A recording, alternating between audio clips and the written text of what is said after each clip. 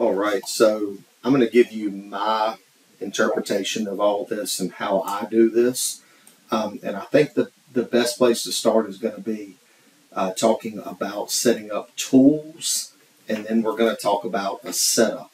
All right, so um, and I'll pro- I'll do that in two different videos. But the first thing we want to talk about is setting up tools. So I've got my part drawn, drew it over here. Of course, you can see how I drew it, how I just did it half and then did a revolve. That's always going to be your better way to do it, um, as opposed to just pancaking these parts on top of one another. Because when you do it this way, um, you know they're concentric. That is, if you want them concentric. But let's move over here to the manufacturer tab. And I've already got my setup, but that's not needed.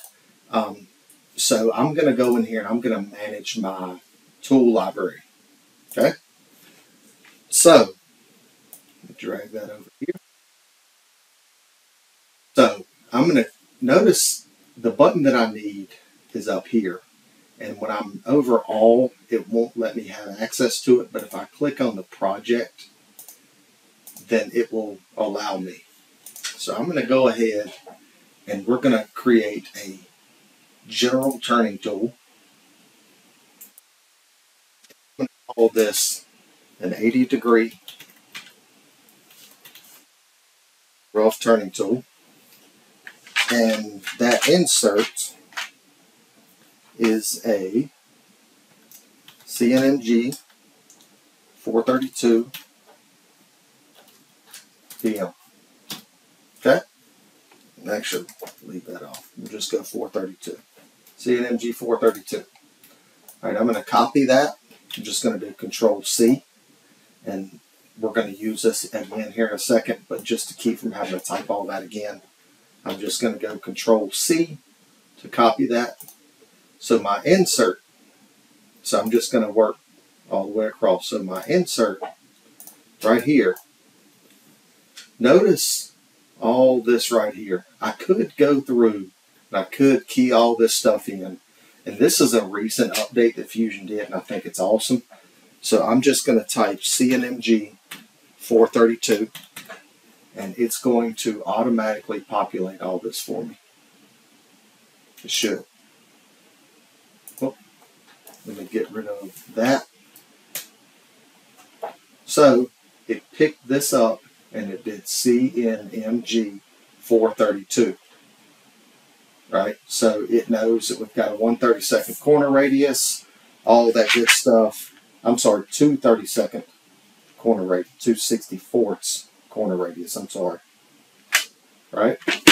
So 130 second, all that looks good uh, my holder, all this stuff is good. We've got a, uh, a, a holder with a negative five degree clearance.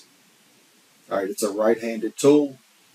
All right, and you can change this this rigid lock, screw lock, all that stuff, but at the level that we're doing here, uh, that none of this really matters uh, right now, anyway.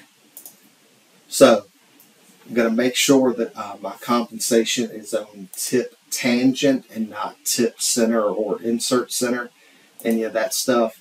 Um, obviously, when we're using G41 and G42, we are concerned about the tangency point of that uh, insert, not the center of the tool, not the center of the corner radius, none of that stuff. So tip tangent. All right, so for my cutting data, for this, you can always go off the insert pack, but um, to me, in an educational institution like this, um, those numbers are high. So we're um, for for this first project, we're going to be cutting steel. So I'm just going to say somewhere around 600 surface feet. We'll go 500 just to be safe. All right, so for my feed per rev, we'll go 10 and lead in, lead out. We'll talk about that later on. But I'm just going to set everything to 10 thou right now. for my post processor, um, let's say that in your machine that tool is number four. You can go ahead and set it to number four. All right, but for this, we're just going to set it to one.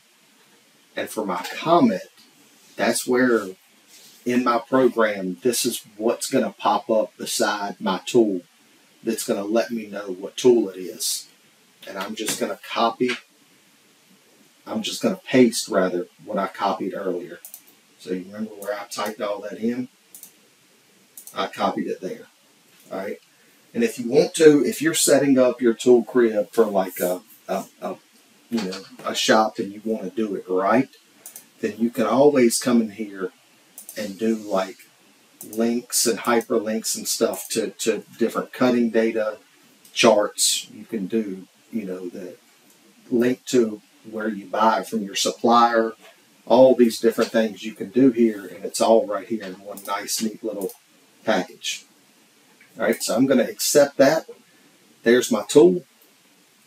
I'm going to go ahead and do uh, a finisher as well. So I've got a finisher here with a 164 tool nose radius. I'm going to go ahead and pop this one in here. We're going to go general turning. This is going to be a 35 degree finish turning tool and this is a VNMG 331. So again, just copy that. I'll paste it later. So this is a VNMG 331.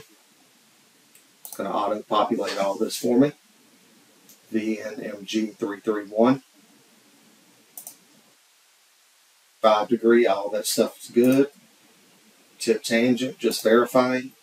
But for this, we'll go 600 surface feet. And we'll go mm, 6,000 per rev. Post processor, it's going to be tool 2. Alright, and then accept. Now, if I stop here, if I if I stop here and and finish, right, you know, go ahead and start, you know, programming. What's going to happen is next project I have, I'm going to have to rebuild these tools. All right, well, it's a better way of doing it. Once you build it one time, there's no sense in rebuilding it. So, what we're going to do is right here, I'm going to export library and I'm just going to call this Josh Test 2 uh, for video, whatever. Name it whatever you want. Okay? Save it. So now I'm gonna I'm gonna act like this is a completely new project and I'm gonna delete all this. So see no tools here. I can go to local, can import. It, it goes right to my downloads. Open. There's my tools again. So if I've got another project, I can open this up later with those tools instead of having to rebuild every single tool. It's just a, a lot better way of doing it. Okay? So that was tool library we added those two tools, an 80 degree rougher with a, a 264 tool nose radius, so an 031 3 tenths tool nose radius, and then we added a 35 degree with an 015 and 6 tenths tool nose radius, and then we saved those as our tool library, and then we, you know, just to verify that we deleted, and then we brought it all back up. Okay. So just wanted y'all to have this quick uh, little little video. Well, not quick, 10 minutes, I'm sorry, but um, on how to create these tools. And of course, as we get further, we're going to get into grooving tools and threading tools and boring bars and things. But we'll be building this tool library up. Okay? So, that's it.